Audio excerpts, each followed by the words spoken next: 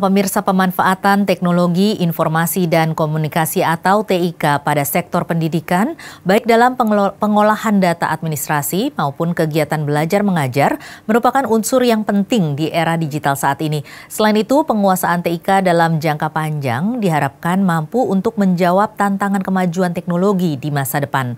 Oleh karena itu, selain sarana dan prasarana yang memadai, diperlukan juga generasi muda yang memiliki keahlian di bidang TIK agar agar dapat mengimbangi kemajuan teknologi di masa depan. Saya berharap bahwa kita tentu menyiapkan ya tokoh masa depan. Masa depan di yaitu seperti yang kita ketahui sekarang kita belajar dari situasi eh, pandemi eh, 19 saat ini.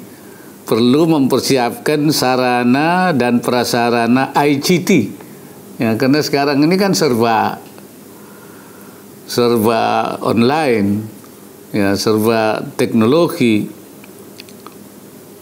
Jadi sarana-sarana ICT informasi dan teknologi ini atau teknologi komunikasi dan informasi itu saya minta Uninus ini menjadi salah satu universitas yang memiliki eh, penyiapan untuk ahli-ahli di dalam ICT ini.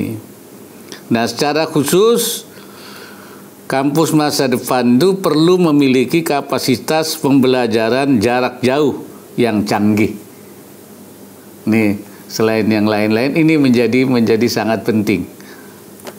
Oleh karena itu, saya ingin bahwa Uninus juga perlu menyiapkan SDM yang kompetitif di bidang ICT.